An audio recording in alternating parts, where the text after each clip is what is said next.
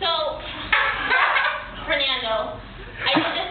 I did this act recently, and uh, this female comic told me that my act pushed the women's movement back to the 18th century.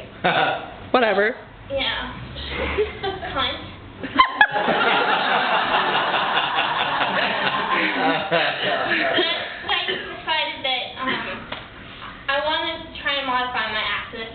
people that call themselves feminists will like me. And um, so we're going to do this over again. You're going to stay on stage to save time. You can let go for now. Um, but you'll stay, you'll stay here to save time. We're going to rewind.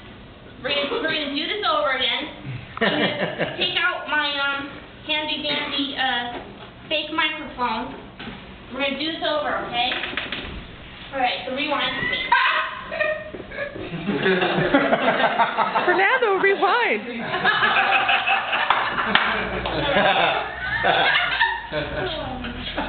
jokes. Who needs them? we don't need jokes. There's more important things going on in the world.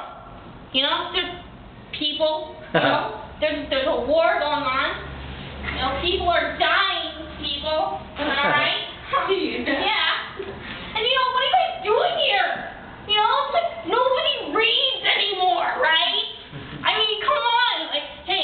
doing?